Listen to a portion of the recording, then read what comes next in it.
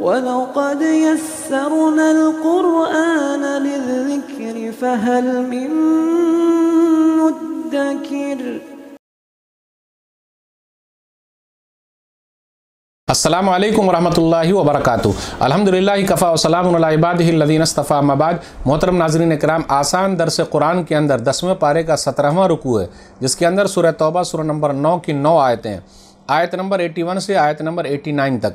औज़बिल्लिमिनशैतानरजीम बसमीम फ़रहलमखलफ़ून अब मक़ादम खिलाफ़ रसूल वकर बमवाल व अनफुसम फ़ी वक़ालतन फ़िरफ़िलहर कुल नारो जहन्नमा शद हर्रा लौकान यफ़क़ून जिन लोगों को पीछे रहने की इजाज़त दी गई थी, वो रसूलुल्लाह सल्लल्लाहु अलैहि के पीछे अपने बैठे रहने पर खुश हुए। और उन्होंने अल्लाह की राह में अपने मालों और अपनी जानों के साथ जिहाद करने को नापसंद किया। और उन्होंने दूसरों से भी कहा कि तुम इतनी सख्त गर्मी में न निकलो। कह दीजिए, जहन्नम की आग इससे कहीं ज़्यादा गर्म है। काश वो ये बात समझते। फलियज हकू कलील यबकू कसीरा जजा अम्ब मखान यकसबून। चुनानचे उन्हें चाहिए कि हंसे कम और रोएँ ज़्यादा। उन अमाल के बदले जो वो कमाया करते थे उन्हें रोना ही चाहिए। फ़िर रजाकल्लाफ़तिमिन फ़स्ताजनु करखरूज फ़कुल्लन तखरुज माई आबदा, वलन तक़ातल माई अदुआ इन नकुम रज़ी तुम बिलक़ूद अव्वल मर्रतिन फ़क़ुदुम अलखालिफ़ीन ए नबी सल्लल्लाहु अलैहि वसल्लम, फिर अगर अल्लाह आपको उन मुनाफिकों में से किसी एक जमात की तरफ़ वापस ले आए और वो आप सल्लल्लाहु अलैहि वसल्लम से जिहाद पर निकलने की इजाज़त मांगे तो साफ़ कह दीजिए, अब तुम मेरे साथ कभी भी जहाद पर नहीं निकलोगे। और न कभी मेरे साथ मिलकर दुश्मन से लड़ोगे, क्योंकि यकीनन तुम पहली मरतबा पीछे बैठे रहने पर राज़ी हो गए थे, लिहाजा अब भी पीछे रहने वालों के साथ ही बैठे रहो। वला तसल अला अहदमिनमात आबदम वला तकुम अला कबरी इन हम कफ़र बिल्ला व रसूल वमात वहम फ़ासिकून। और ए नबी अलैहि वसल्लम, उनमें से जो मर जाए, आप कभी भी उसकी नमाज़ जनाजा न पढ़ें और न कभी उसकी कब्र पर खड़े हों।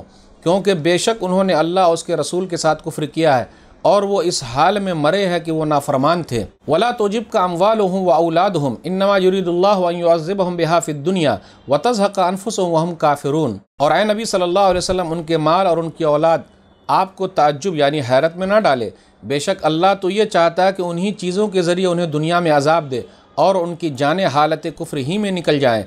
वैदा उनज़ल सूरतनामिनबिल्ला वजाहदुमा रसूल हिस्ताजना कौलमिन वक़ाल नकुम मालक़ादीन और जब कोई सूरत नाजिल की जाती है कि तुम अल्लाह पर ईमान लाओ और उसके रसूल के साथ मिलकर जिहाद करो तो उनमें से दौलतमंद आपसे इजाज़त मांगते हैं और कहते हैं, हमें छोड़ दीजिए ताकि हम घरों में बैठने वालों के साथ रहें। रजूब यकून माल खवालफ़ व तुब अला फ़हम लाफ़ून उन्होंने इस बात को पसंद किया कि पीछे रहने वाली औरतों के साथ बैठे रहें। और उनके दिलों पर महर लगा दी गई, लिहाजा वो नहीं समझते। लाकिन रसूल वल्लिन आमनुमाह जाहदुब अमवाल व अनफुसम व उलाइकलहमखैरत व उलाइकहमफलहून लेकिन उनके बरखिलाफ़ रसूल और जो लोग उनके साथ ईमान लाए, उन्होंने अपने मालों और अपनी जानों के साथ जिहाद किया। उन्हीं लोगों के लिए भलाइयाँ हैं और यही फ़लाह पाने वाले हैं। आदल्लाम जन्नात तजरी मनतः तलहार खालदीन फ़ीहा फ़ौज़ुलज़ीम अल्लाह ने उनके लिए ऐसे बागात तैयार कर रखे हैं, जिनके नीचे नहरें बहती हैं, वो उनमें हमेशा रहेंगे। यही बहुत बड़ी कामयाबी है। नाजरीन इकराम, आसान दरस कुरान के अंदर दसवें पारे का सत्रहवां रुकू है, जिसके अंदर सूर्य तौबा सूर्य नंबर नौ की नौ आयतें हैं। आयत नंबर 81 से आयत नंबर 89 तक। आइए आयत नंबर 81 पर गौर करें। फ़रहल मुखलफ़ून अब मक़दम खिलाफ़ रसूल कि मुनाफिकों ने नबी वसल्लम से कहा था, इजाज़त ली थी। कि हम परेशान हैं, हम नहीं जा सकेंगे तो नबी सल्लल्लाहु अलैहि वसल्लम ने इजाज़त दी और उसी में वो लोग खुश हो गए। और दूसरों को भी रोक रहे मत जाओ, गर्मी का मौसम है, बहुत गर्मी है। तो अल्लाह ने कहा, नारो जहन्नमा शद हर्रा लौकान यफ़ून कि जहन्नम की आग तो और ज़्यादा सख्त है और ज़्यादा गर्म है अगर वो लोग समझते। एक हदीस के अंदर आया, सही मुस्लिम किताबुलजन्ना हदीस number two eight four three fan नहा फ़ुज़लत अलहा बेतिसआत व सित्तीन जुज़न कुल्लुहा मिसल हर्रिहा। के दुनिया के मुकाबले में जहन्नम की आग 69 दर्जा ज़्यादा है। इसलिए बचिए 69 दर्जा ज़्यादा है। फिर आगे, आयत नंबर 84 के अंदर है, नबी सल्लल्लाहु अलैहि वसल्लम को मना किया जा रहा है कि आप मुनाफिकों की जनाजे की नमाज़ न पढ़ें। वला तसल्ली अला अहद मिनहुम्मात अबदा, वला तकुम अला कबरी, और कभी भी उनके कब्र के पास खड़े ना हो। सही बुखारी किताब तफसीर, किताब नंबर पैंसठ, हदीस number four six seven zero. Abdullah बिन उबई बिन सलूल मुनाफिकों का सरदार था। जब वो दुनिया से चला गया तो अब्दुल्ला जो उसके बेटे थे, वो नबी सल्लल्लाहु अलैहि वसल्लम के पास आए और कहा, आप अपनी कमीज़ दे दीजिए कफन के तौर पर। नबी सल्लल्लाहु अलैहि वसल्लम ने दे दिया। फिर उन्होंने ये कहा कि, आप चलिए, मेरे अब्बा की जनाजे की नमाज़ पढ़ा दीजिए।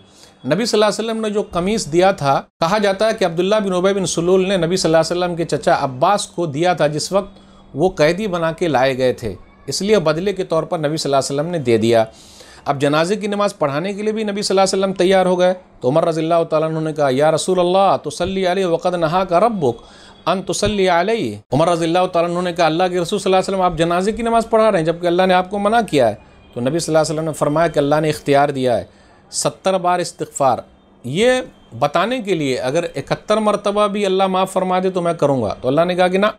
माफ़ी होने वाली है ही नहीं। तो नबी सल्लल्लाहु अलैहि वसल्लम ने जब जनाजे की नमाज़ पढ़ी तो आयत उतार दी गई। उसके बाद नबी सल्लल्लाहु अलैहि वसल्लम ने जनाजे की नमाज़ मुनाफिकों की नहीं पढ़ी।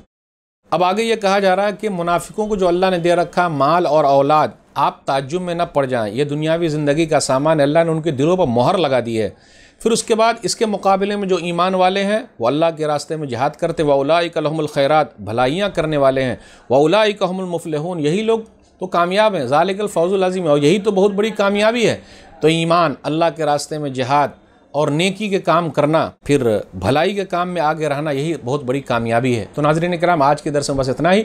अल्लाह से दुआ है कि अल्लाह ताला हम लोग कुरान करीम को पढ़ने, समझने, अमल करने और लोगों तक पहुँचाने की तोफ़ी दामीन वसलम वरहमल वर्क और मज़ीद वीडियोस को देखने के लिए आप हमारे यूट्यूब चैनल को सब्सक्राइब करें।